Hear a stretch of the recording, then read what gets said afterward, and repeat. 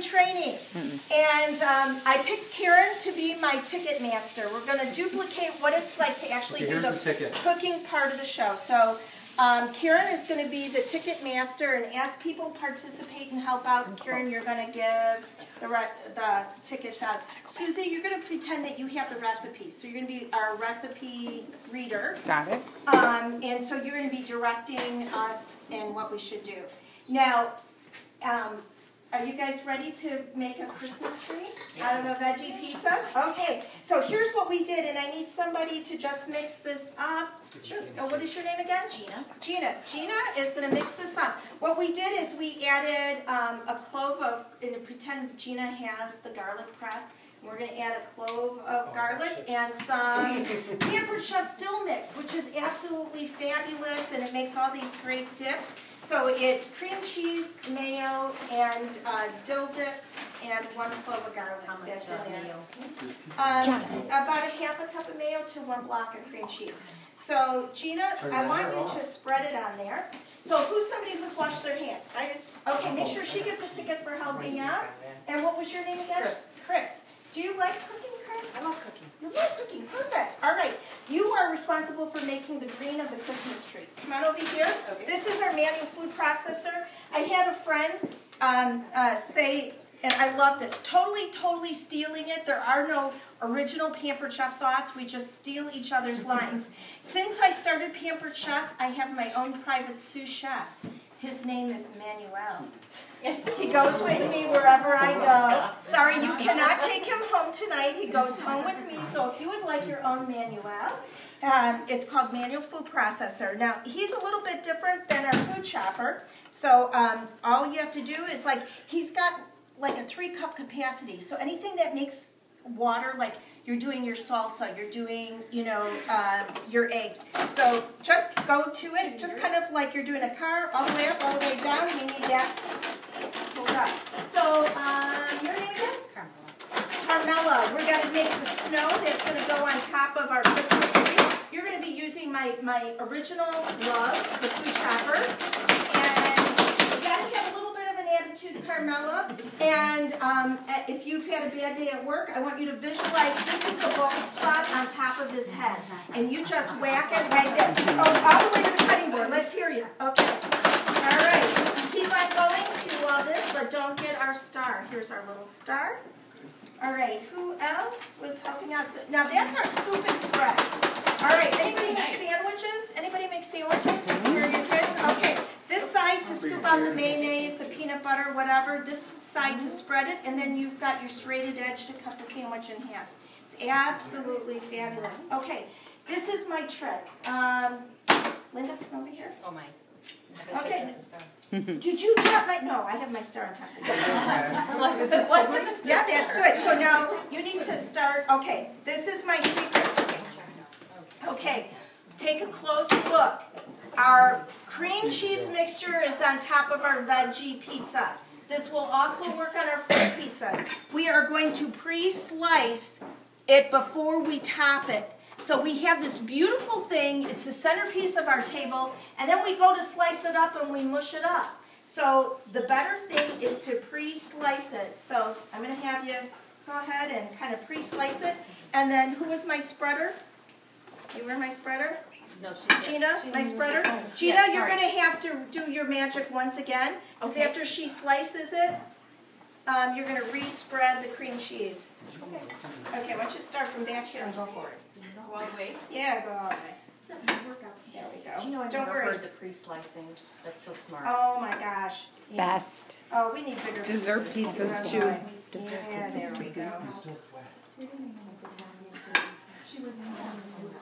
All right, and then you kind of come across. So Gina, you're gonna re-spread as soon as she's done. Now that's our, our, our, anybody know what that's called when I go like this and I put my hands out, it's fill in the blank? Who can tell me what she's using? Pizza cutter. Okay, now Ticketmaster, what do you use a pizza cutter for? Pizza. Okay, Brownies, that's boring. But what else? Brownies, Pancakes, Rice pancakes. Krispie treats. All right, give her. Sandwiches, Okay, coffee re-spread cakes, Sandwiches. Coffee cakes. Noodles, you can roll out Brownies. noodles. noodles. No, she doesn't. Did anybody say pancakes? Quesadilla. Quesadillas. Quesadillas, excellent idea. Yeah, pizza cutter's not just for pizza. Make sure you use it for all kinds of things. If anybody wants crustless little finger sandwiches, because you're doing a foo-foo little bridal shower or something, that's great. Okay, so now do you see we are re-spreading the cream cheese? Now, if you were wondering how I did it, it's just crescent rolls, and I made it look like. Okay, so, all right. True confessions, I started up with the cheap crescent rolls, and I went, oh my god, these are awful. So then I got the Pillsbury crescent rolls. So this is really good crescent rolls on top of the crappy crescent rolls, okay? But Um, is it the big ones or the little, the regular size ones? regular size ones. Okay, so we need green, and that's not gonna be enough green, so we're gonna need more broccoli. That's for coming. All right, so we need a green. Okay, so while she's doing that, this thing is called the Zester Score. Um, you have not tried, did you wash your hands? No, not yet. Okay, then go wash your hands. Um, who else washed their hands that have not helped? All right, come on over here. I will have you do this. This is my score, and I want you to take the score, the, this off the cucumber. And then I need somebody to peel my carrot. Who said they, okay, we need to have that peeled. You, um, you know what, grab that garbage can, bring it closer. Oh, we have more broccoli. Keep on, yeah, don't worry. We can either do the broccoli with a manual food processor or. We need a whole bunch more greens. We need the green of, just keep on going. Here, I got one more. I don't want it now. I have more, tons. Okay, once it's stored, I'm gonna have to do the simple slices. And probably put it on. Um, That Christmas tree looks cute, son. Okay, so we need, we need a full green. Okay, so she was done with the score over here. I want, um, two things. I want Watch your fingers. a julienne. Put one here. Oh my god, I And so- I was watching. Oh, Over here, oh, I got I julienne. did. Heart attack. I, I want you to julienne this, okay? Some of that. Excuse me.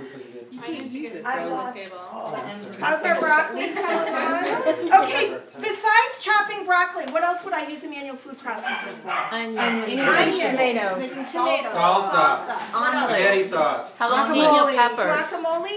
Lapom ching ching.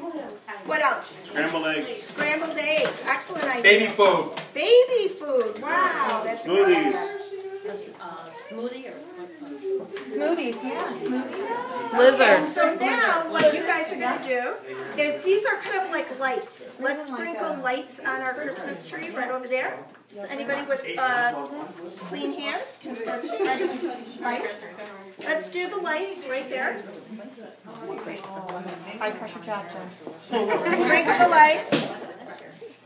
Those are lights. Okay, and then we're gonna have to make the garland. This is our spiral slicer. So this is going to be like our garland in our Christmas tree. So, um, if, has anybody not tried the spiral slicer yet? Is there anybody here who honestly, come on over here. So, so we are going to just go like this. Do you see how I'm just putting pressure and slicing? So just keep on, hold this side. Standing next to her. Don't lift it. Okay, yeah. Now just keep pressure on it and keep slicing. Keep Maybe that's what we should use for our turkey one. Girl. you might go- for your what? Turkey one. Oh my God, that would have been a great idea. I should get a ticket. She should get a ticket for that. Okay. So now we've got our lights on our Christmas tree. Let's put our garland. This is like some little like um, no tinsel. This is our tinsel. Let's put some tinsel on our tree. The garland are the cu- is the cucumber, believe it or not. Put our tinsel on our tree. I can get in the top. What do you want? Stay away from the alcohol. Would you like to put our um, red ornaments on our tree? Our ornaments? So now put our ornaments on the tree, and I have some more cherry. Now our ornaments are simply cherry tomatoes that are cut in half. I do want to make a mention, Pampered Chef has several different kinds of knives.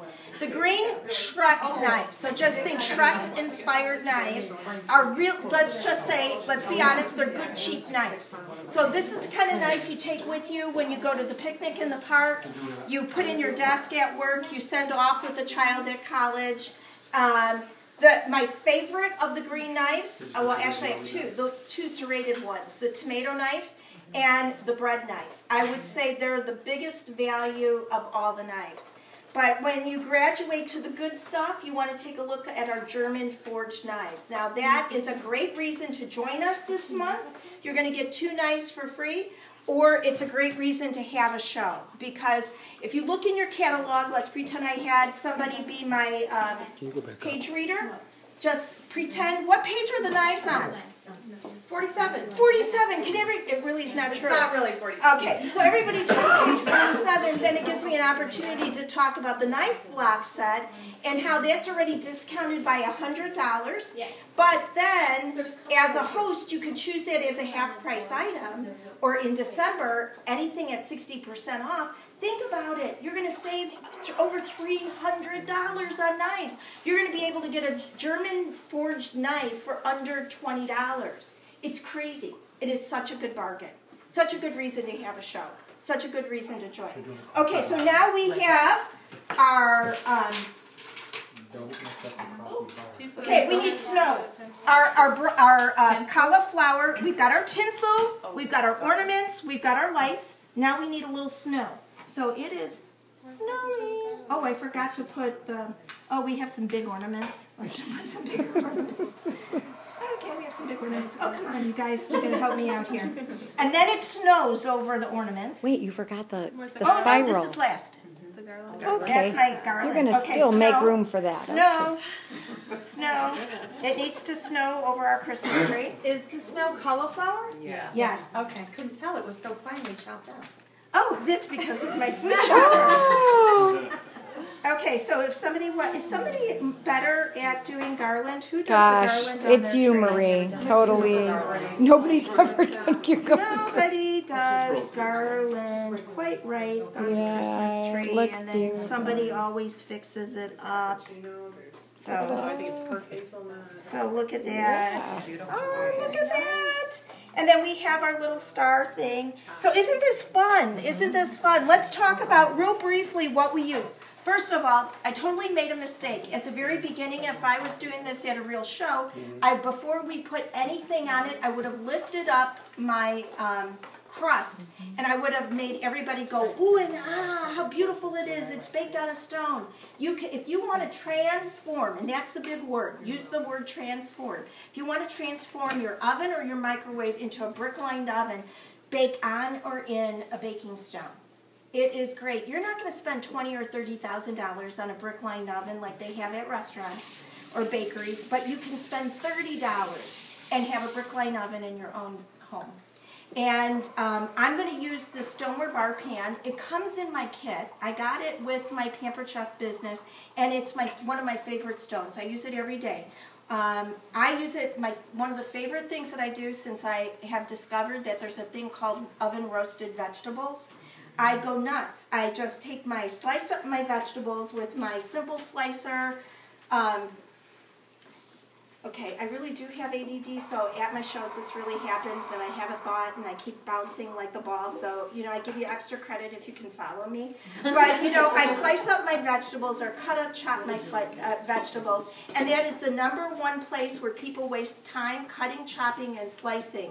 So if there's any one thing that you get tonight, invest in the things that will reduce the amount of time you spend in the in the kitchen.